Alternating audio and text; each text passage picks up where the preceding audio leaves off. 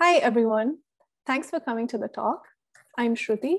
I'm a PhD student at Carnegie Mellon University. And today I'll be talking about my work on cross-lingual entity linking for low resource languages. This is the first section of a four-part talk. In this part, I will describe cross-lingual entity linking, the methods that are typically used, and the associated challenges for low resource learning.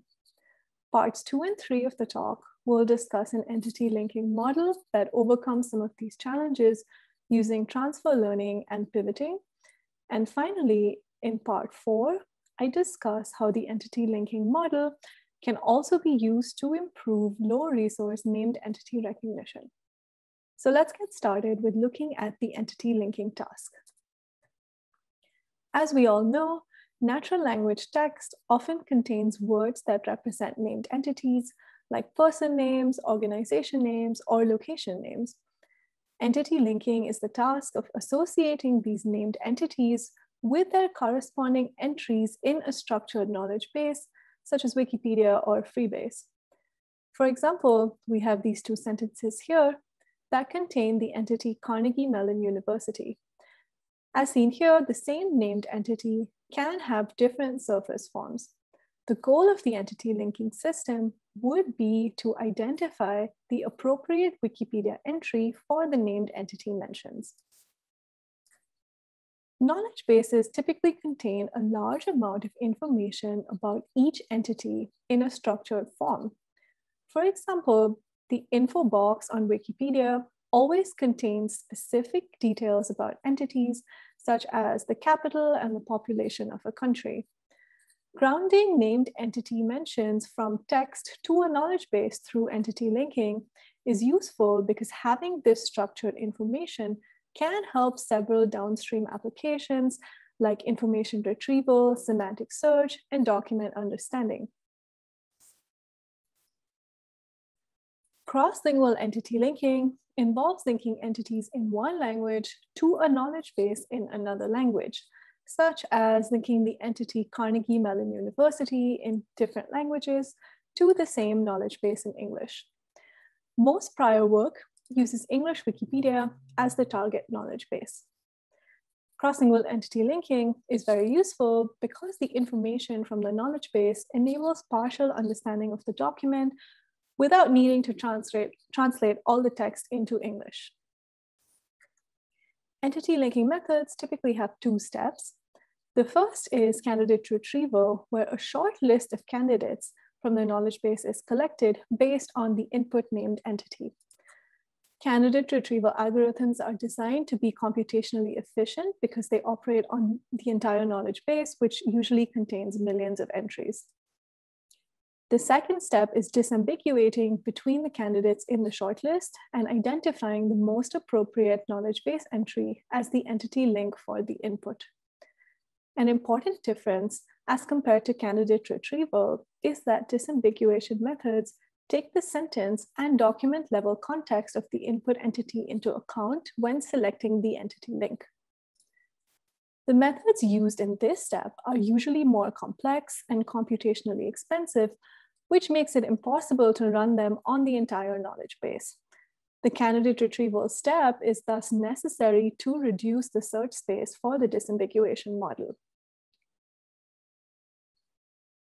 A candidate retrieval method with high recall is essential for good performance because if the list doesn't contain the correct entity link, then it cannot be recovered in the second step.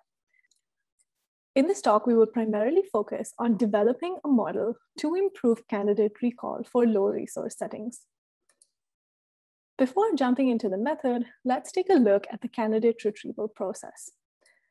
The input is a pre-extracted named entity mention from a sentence or a document. The candidate retrieval process includes scoring the input mention with respect to each entry in the knowledge base, and the top scoring entries are selected as candidates for the downstream disambiguation method.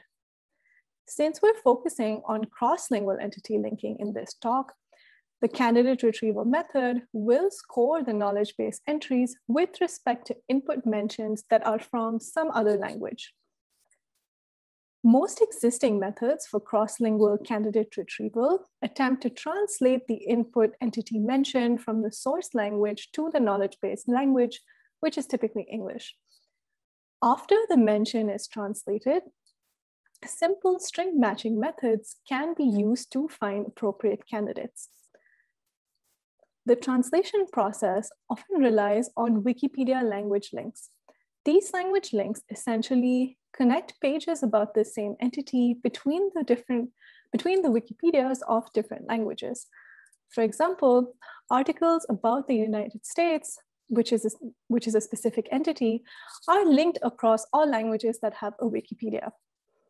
These links are used to construct a bilingual dictionary, which is then used to translate the named entities that need to be linked to the knowledge base. Around 300 languages have a Wikipedia.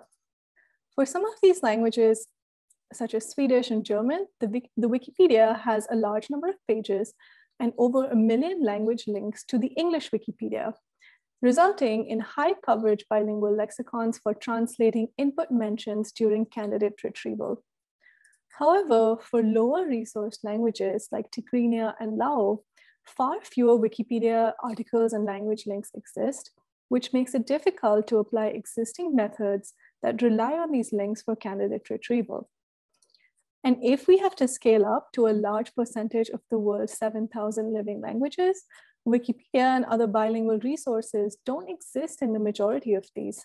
And performing cross-lingual entity linking with these methods, with translation-based methods, is usually infeasible. So as an alternative to these existing methods. In this talk, I will present a model for retrieving candidates that doesn't rely on any bilingual resources in the source language for training. Instead, the model is trained using data from high resource languages, which are more easily available.